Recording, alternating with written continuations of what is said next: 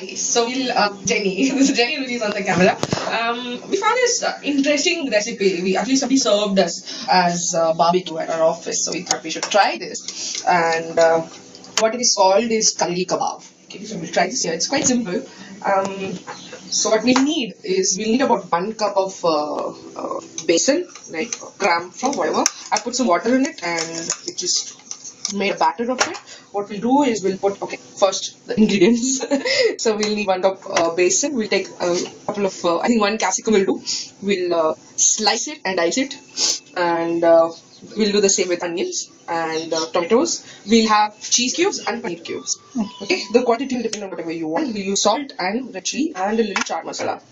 So in the besan that we've added water to, we'll add a little salt to your taste add a little red chili powder.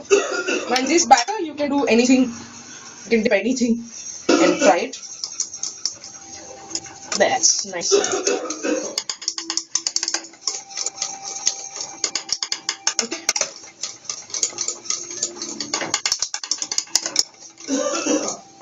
That's done. We've already made these, but I'll make one for you guys. So what you do is you take a nice piece of capsicum, capsicum first, and then cheese white cheese not in the end because you want it. Protected and then you can put a onion for slice then a nice paneer cube and blend it with a tomato cube. So that's almost ready. Why are the cheeses so dearly protected?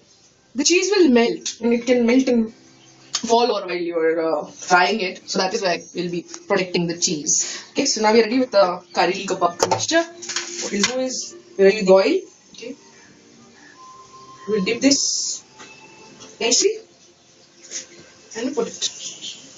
Everything is more or less cooked. Everything can be had raw. So you don't need to worry a lot about what you're doing. The toothpick helps to keep it together.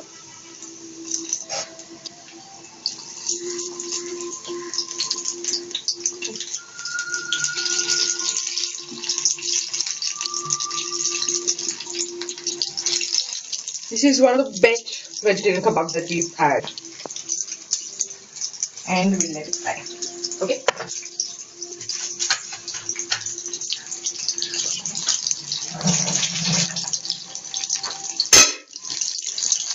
So about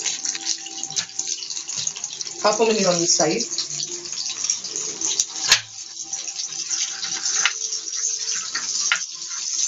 You can make more kareli kebabs the meanwhile.